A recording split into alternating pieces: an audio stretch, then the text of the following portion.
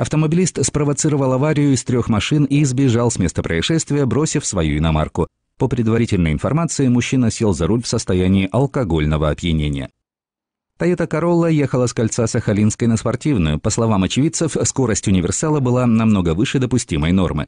К тому же рулевой сильно петлял, и машина периодически выезжала на встречную полосу.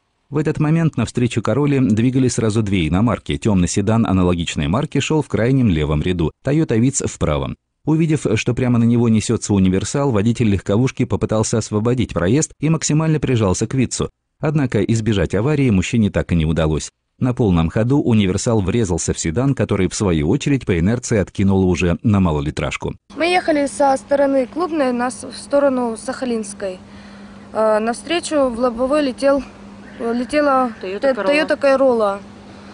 Э, Дабы уйти от, от столкновения, муж прижался к Вицу, вид, фит, Виц, движется с нами в одну, в, в одну сторону. И получается, он нас протаранил в бочину, мы отлетели на Вица, Останавливаться сразу после аварии водитель универсала не стал. Напротив, он увеличил скорость, проехал еще несколько сотен метров и лишь затем затормозил. Оставаться на месте происшествия молодой человек также не стал.